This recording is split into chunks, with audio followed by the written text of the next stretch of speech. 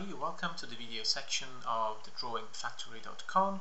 Today we're talking about basics of digital inking a drawing using Adobe Illustrator CS4.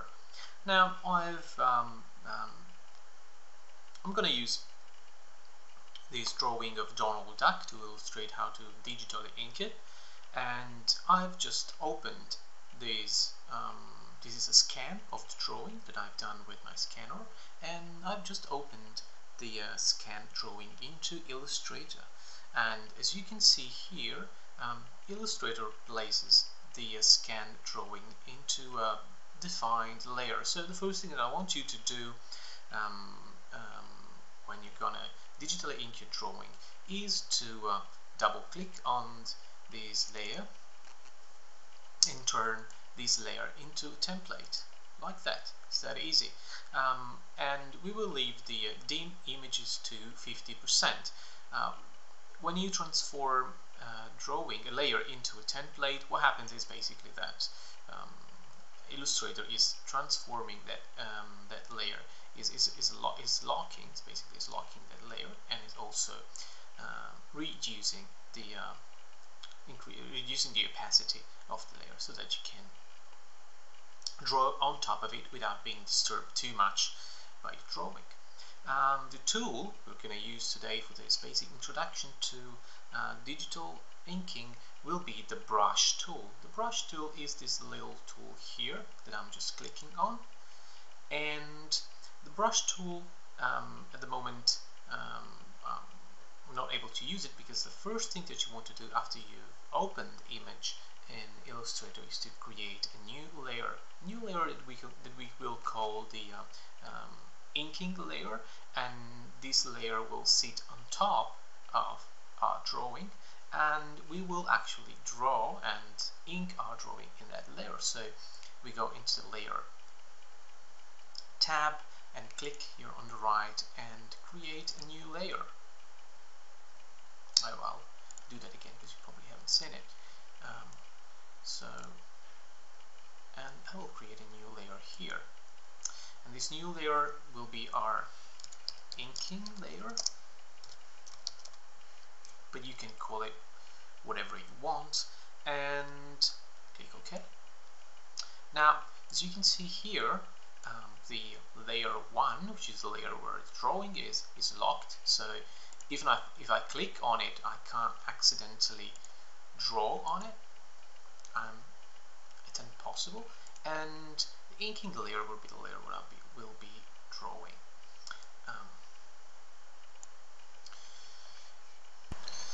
when you do that in fact what happens is that um, Illustrator um, creates a blank brush.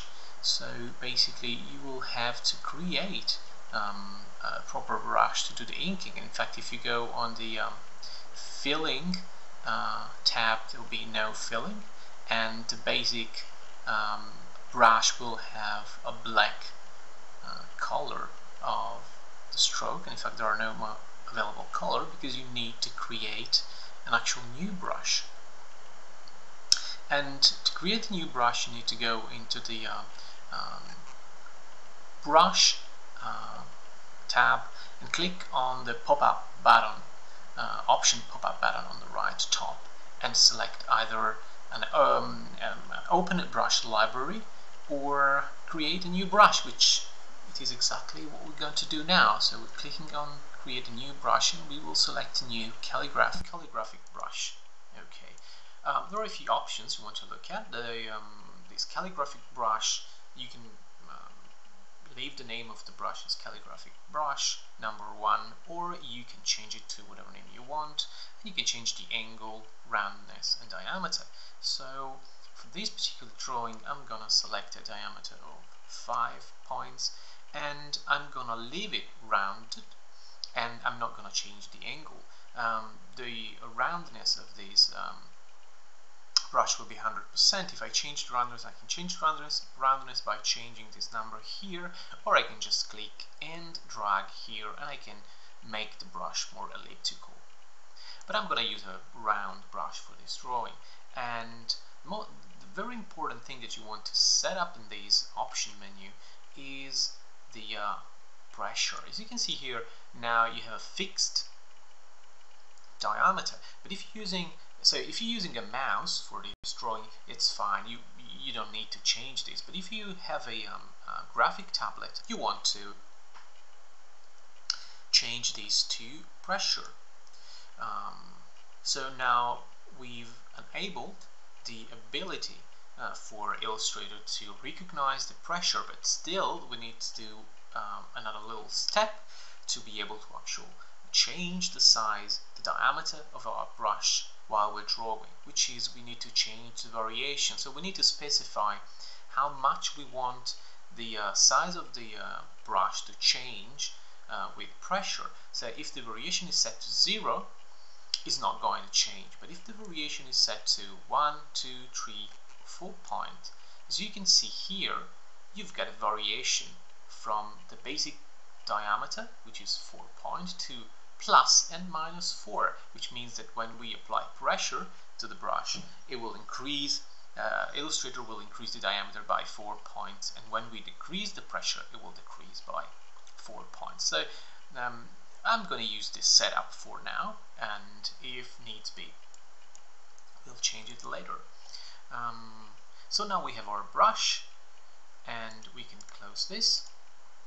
And um, now you see that the little, little tool has changed, and in fact now um, has the shape of a brush. In fact, I can draw with it. And as you can see here, by changing the pressure of my stylus, I can change the diameter of my brush.